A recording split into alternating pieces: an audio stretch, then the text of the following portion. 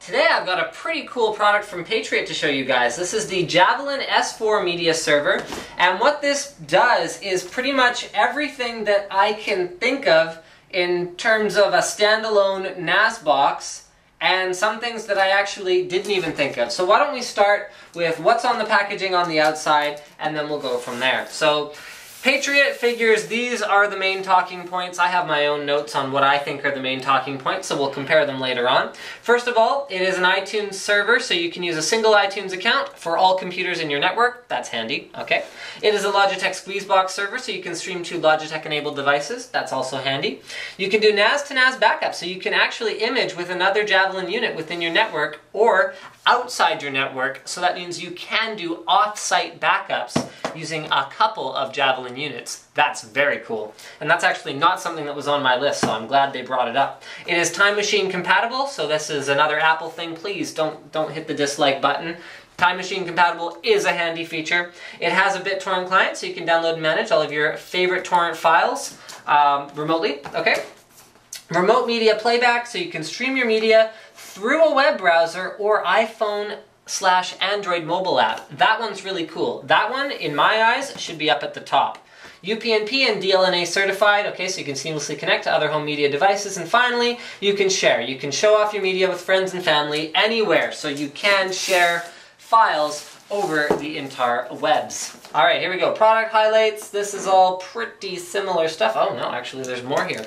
Okay, so data storage over the network and internet with mobile media center and dashboard, access photo albums, documents, and more. So that's that internet sharing bit. Okay, you've got the DLNA digital media server, so that gives you instant access to your music, pictures, videos via digital media players on the home network, such as the Patriot Box Office. All right.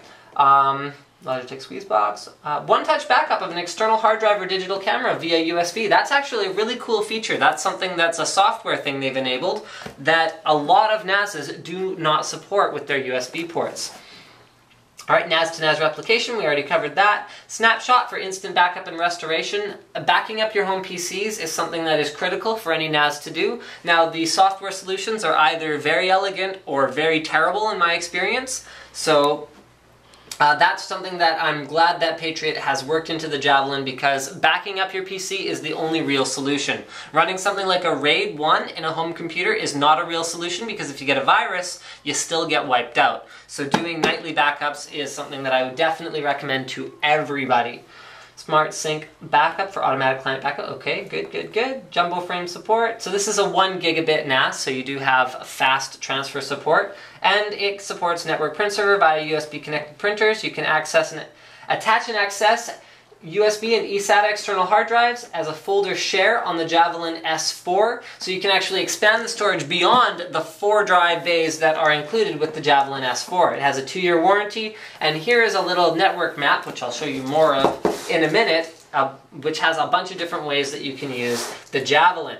So flexible RAID configurations. I mentioned it supports four drives. We, it supports a RAID 0 and a stripe. I mean, okay, please, please, never set up four drives in a RAID 0 in a backup device. That completely defeats the purpose. Don't do it. Wrong. RAID 1 mirror. This is a good way to set it up so you can actually take two drives or four drives and you can set them up to mirror each other. So even if one, any one drive fails, you're going to have all of your data replicated somewhere else on a completely um, data identical drive. RAID 10 is mirror and stripe, performance and backup. I still don't really recommend it because you're going to be limited by gigabit ethernet anyway. You might as well just stick with your RAID 1s or your RAID 5s. So RAID 5 is three drives or more and it allows you to have any one drive fail and then you can put in another drive and rebuild the array as if it was never gone. So it supports the capacity of two drives with three drives. So it's quite a bit more efficient than RAID 1, where you need two drives to support the capacity of one drive, but you have the disadvantage of rebuild time if a drive does go down in the array. Now RAID 5 is cool, be, uh, with a spare disk is cool, because you can throw four drives in your Javelin S4, if, and one of them is sitting there idling doing nothing. If any one drive fails, that idling doing nothing drive will automatically build itself into the array to replace it, and then you can, at your leisure, take out the dead drive and put in a new one. The Javelin S4 does support 3 terabyte drives, so you can throw up to 12 terabytes of storage. Oh good, it's okay. Into this tiny little box. Comes very well packed, as you guys just saw. It's got a big old thick layer of foam on all sides of it. This is up to about an inch thick on all sides. So I really wouldn't worry about there being any damage to your drives or your Javelin in transit. Alright, let's put that box back together. I wanted to show you guys that network map later, so I'll show that. And here, I'm just going to move back a little bit so you don't see my notes.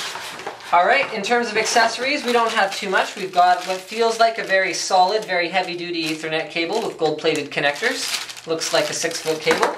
And then we have a power adapter. Looks like it has a built-in power supply, so no, uh, no external power brick. Very nice. Okay, we've got drivers and manuals.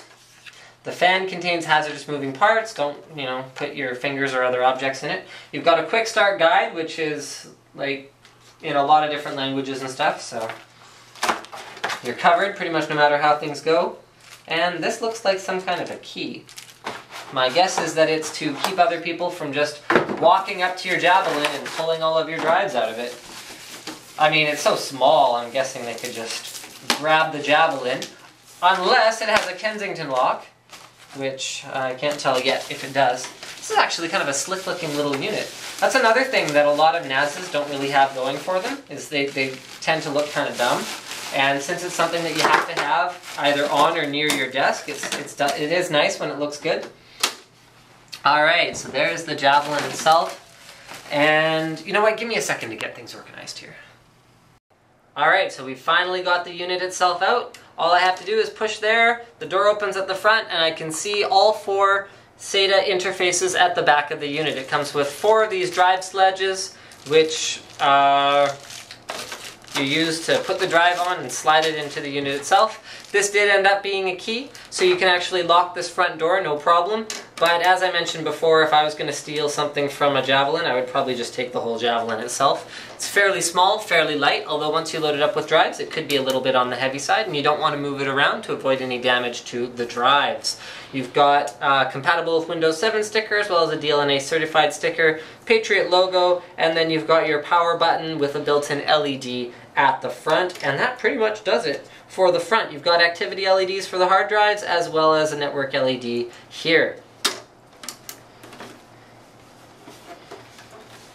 On the back, we have a gigabit Ethernet port. We have a hard reset switch. I love seeing hard reset switches because even the best software crashes sometimes. I actually had a tablet crash on me a little while back and it was very difficult to figure out how to reset it because it had no hard reset switch. Uh, okay, sorry, sorry, I'm off on a tangent here. Gigabit Ethernet port, eSATA interface, two USB interfaces, so that means you can have one of them permanently attached to a printer, for example, and you can have the other one uh, available for USB storage, whatever the case may be. And I'm sorry, this one on the back is actually the power button, and the one on the front is not a power button. So, what is the one on the front? I don't know. Okay, well, I'll figure that out later. All right, finally, we've got an 80 millimeter cooling fan. We have our power in here. And then I just want to take a look at the overall construction of the unit. So you can see here we've got access via the bottom panel to nothing that's screwed shut. But we do have four rubber feet here on the bottom, so that's going to keep the Javelin S4 from moving around when you've put it down on the table. It's also raised a little bit, so I don't know. Here, yeah, there's a good way to see it. So you can see that it's going to get some convection cooling coming up through the bottom, and that's where the fan is going to take in some of its air. That's at least based on my observation. And then the rest is going to come through these vents in the front, which have uh, a fine mesh over them, so it should be just a matter of going like this to clean the dust off them once in a while. And then there's also ventilation around the outside edge where air should be able to pass quite freely into the inside around the outsides of the door. So that's uh, that pretty much takes care of ventilation. And it appears that this is not ventilation at all because you can see that once I open it up, there's actually no access to the bottom compartment from the top. So it looks like that's purely a power supply component. RTM, folks, RTM means read the manual. This is the one-touch backup button, so you'll use that every time you want to do a one-touch backup, which basically just means it's triggering a software event to run a pre-scheduled backup that you have configured already. So, yeah, that's pretty much it. All right. Next, a couple more things. So, Patriot recommends using Enterprise or RAID Edition class hard drives for maximum reliability when using RAID 0 or RAID 5 configurations. Good reason for that. RAID 0, as I mentioned before, like not, it's for speed, it's not for reliability. You lose one drive out of a four drive RAID 0, all the data is gone. So just don't use that at all. And then for RAID 5, the array is quite vulnerable if a drive fails during that period where you haven't put in a new drive and let it rebuild itself. While it's rebuilding, if another drive fails, it will all be gone. So it is best to use enterprise class drives. Now finally, let's have a look at Patriot's network map here, where you have the Javelin as the center of the house right there, and then you have uh, you know, a UPS being managed by it. You have external hard drives, a printer. You can back up the Javelin itself to another Javelin over the internet. That's a really cool feature. I love that.